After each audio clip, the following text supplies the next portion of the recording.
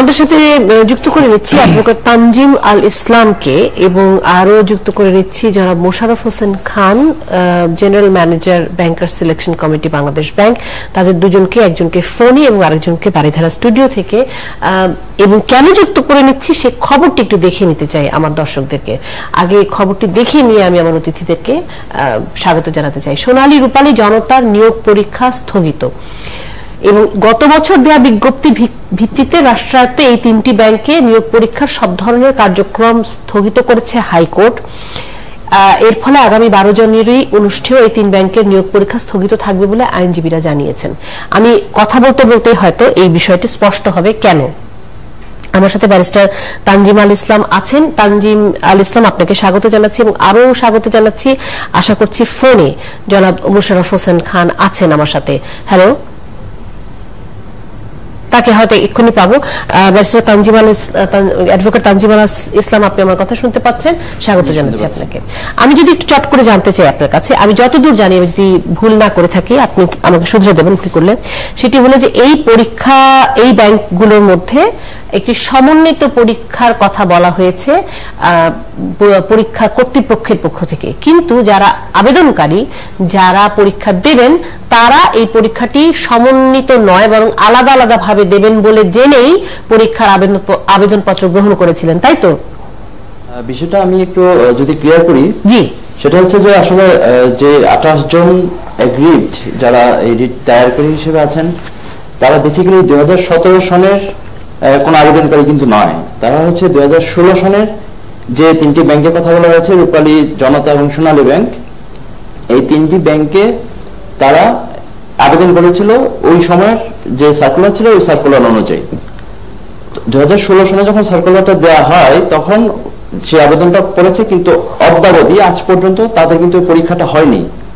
তো পরীক্ষাটা দুই হাজার ষোলো সনে না দিয়ে দু হাজার হলো যে যেটা সমন্বিতভাবে তাদেরকে নতুন করে একটা সার্কুলার দেওয়া হলো এবং ওই তিনটা ব্যাংকের সহ টোটাল আটটা প্রতিষ্ঠান এবং ব্যাংক টোটাল আটটা প্রতিষ্ঠান, যারা রাষ্ট্রায়ত্ত প্রতিষ্ঠান হিসেবে আছেন, তাদের টোটাল ব্যবস্থাটাই টোটাল পরীক্ষাটাই হচ্ছে নেওয়া হবে এখন দু হাজার সতেরোতে নতুন যে সার্কুলার জারি হয়েছে।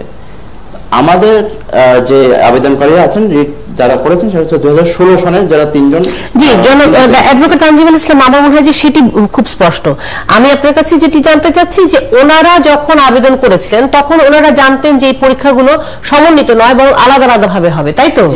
হ্যাঁ এখন যে যেই প্রতিষ্ঠানের জন্য আবেদন করুক না কেন এই প্রত্যেককেই এই আটটি প্রতিষ্ঠানের সমন্বিত পরীক্ষায় বসতে হবে এবং পরীক্ষা দিতে হবে এই নতুন সার্কুলার অনুযায়ী তাই তো? যেটি আগামী বারোই জানুয়ারিতে অনুষ্ঠেয়। হ্যাঁ জি সেটি দেড় বছর ধরে হয়নি সেটি বা এক বছর ধরে হয়নি সেটি একটি প্রশ্ন।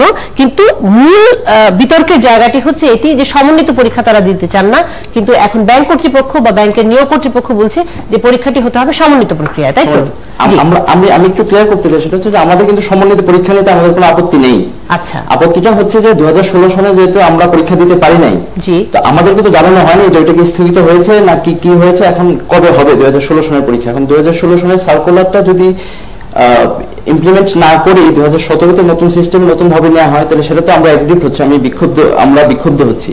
আমরা এটা, এইটাকে চ্যালেঞ্জ করে আমরা হাইকোর্ট বিভাগে গিয়েছি এবং হাইকোর্ট বিভাগ তার রোলে স্পষ্ট করে বলে দিয়েছে যে রোলটা যেটা দিয়েছে রোলের টার্মটা হচ্ছে যে দুই সনের পরীক্ষা দুই হাজার সতেরো সনের পরীক্ষা হওয়ার আগে কেন দুই হাজার ষোলো সনের তিনটা ব্যাংকের যে সার্কেল হচ্ছে, তাদের পরীক্ষা কেন নেওয়া হবে না?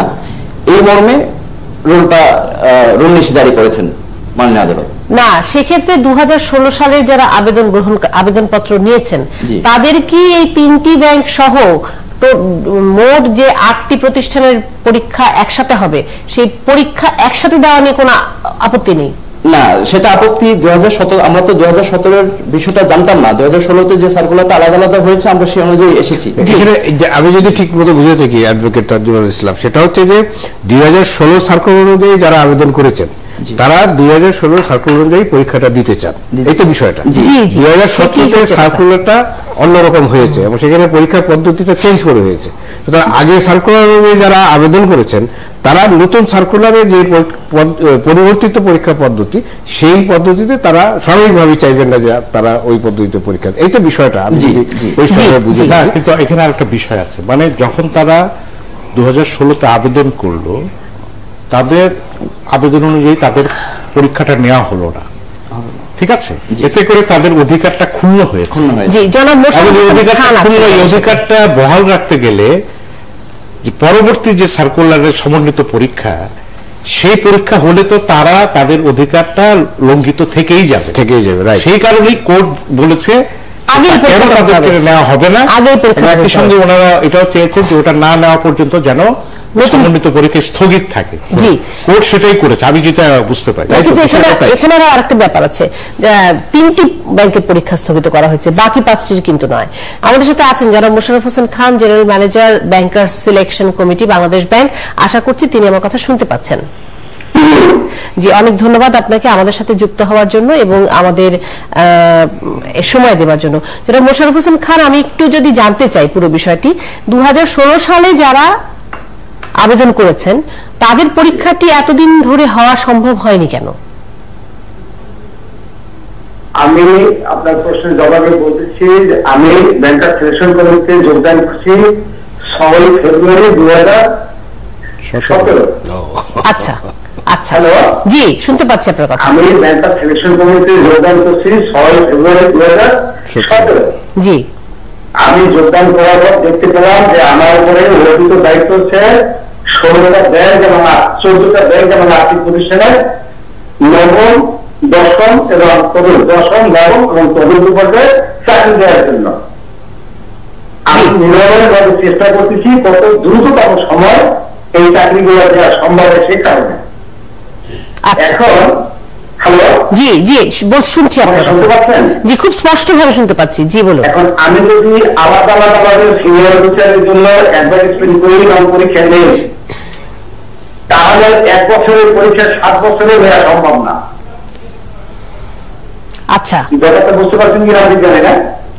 বুঝতে পেরেছি। আলাদা আলাদা ভাবে এক একটা ব্যাংকের জন্য senior officer officer IP officer officer এরকম ছয় সাতটা প্রায় ভিন্ন ভিন্ন পদে পরীক্ষা দিতে যাই তাহলে চোদ্দটা প্রতিষ্ঠানের পরীক্ষা নেয় এক বছরের পরীক্ষা সাত বছরের সম্ভব আচ্ছা। তখন আমরা একটা সমন্বিত ভাবে মিটিং করলাম।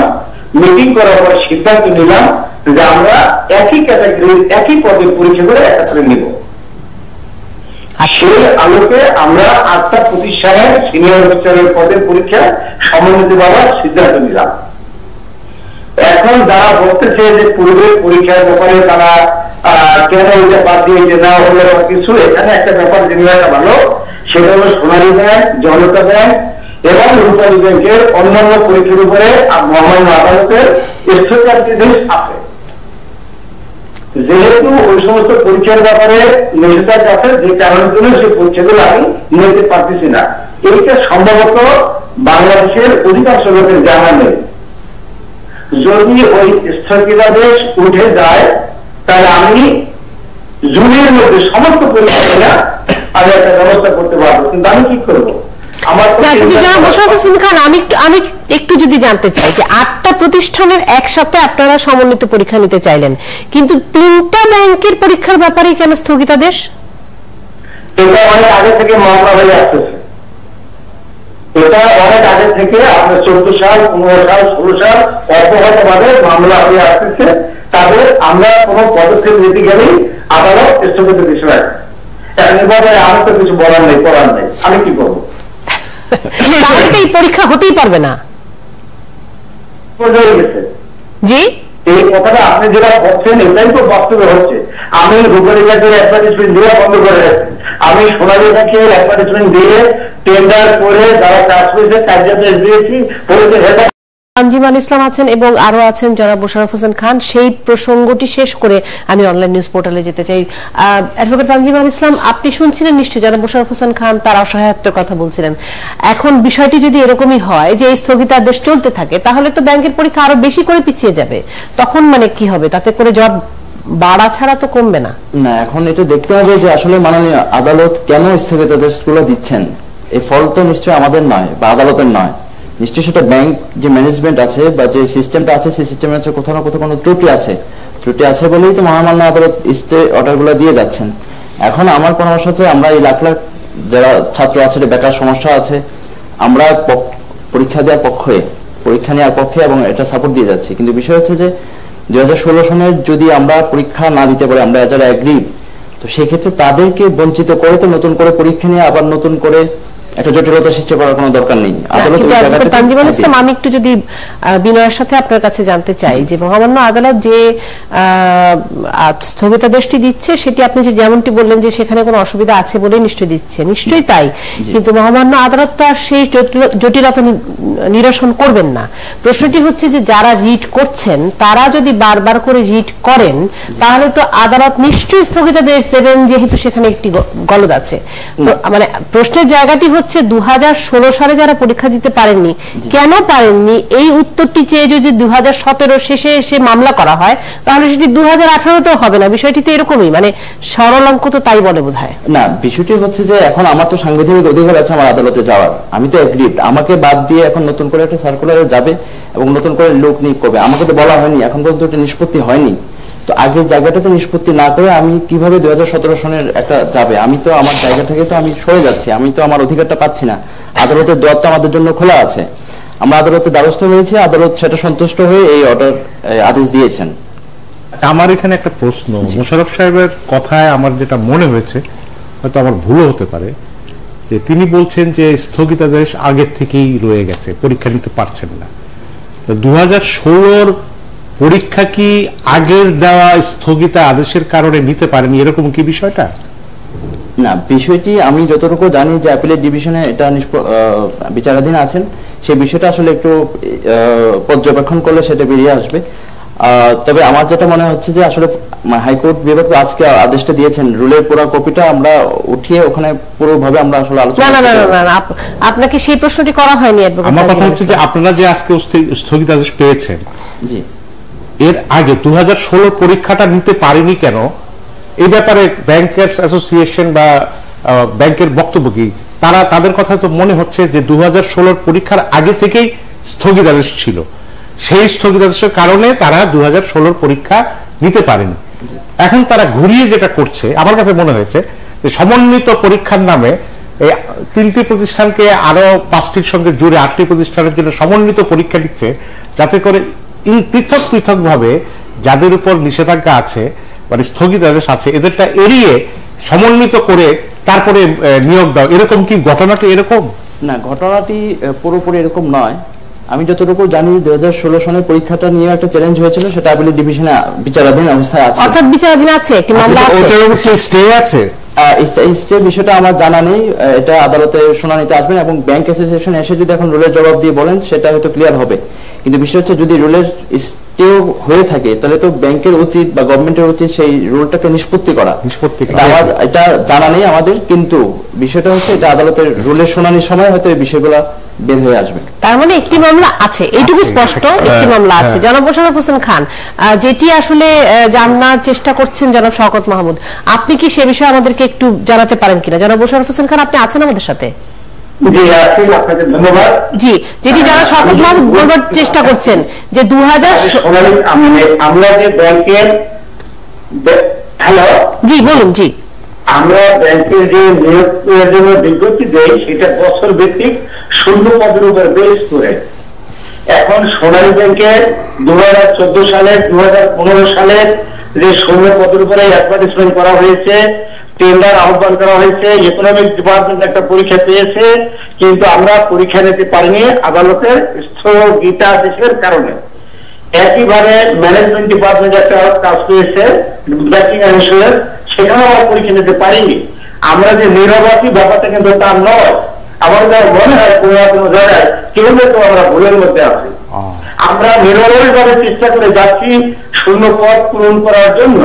কিন্তু আদালতের অব্যাহত স্থগিতাদেশের কারণে কোন পরীক্ষায় আমরা নিতে পারতেছি না। এই এই মামলাগুলো নিষ্পত্তি হচ্ছে না কেন? জনাব মোশাররফ হোসেন খান এই মামলাগুলো নিষ্পত্তি হচ্ছে না কেন? কীভাবে চিন্তা করেন আমি জানি না।